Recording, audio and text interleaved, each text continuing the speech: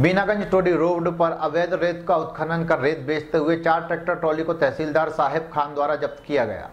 Tractor trolley से अवैध रूप से परिवहन की सूचना पर राजस्व विभाग की टीम ने मौके पर पहुंचकर रेत से भरे चार ट्रैक्टर ट्रॉलियों को रॉयल्टी मांग की। पर एक भी रॉयल्टी रसीद नहीं मिलने पर तहसील द्वारा चारों ट्रैक्टर ट्रॉलियों का पंचनामा बनाकर जब्त किया गया। कार्रवाई के दौरान मात्र दो ट्रैक्टर ट्रॉली के ड्राइवर ही मौके पर मिले। तहसीलदार साहिर खान ने बताया की रेत से भरे ट्रैक्टर ट्रॉली मालिकों को सूचना कर दी गई है। वह अपने परिवहन संबंधी पेपर, रॉयल्टी व ट्रैक्टर ट्रॉली का ड्राइविंग लाइसेंस लाकर दें। यदि परिवहन कर रहे मालिकों के पास उचित पेपर नहीं पाए जाते तो कानूनी कार्रवाई की जाएगी।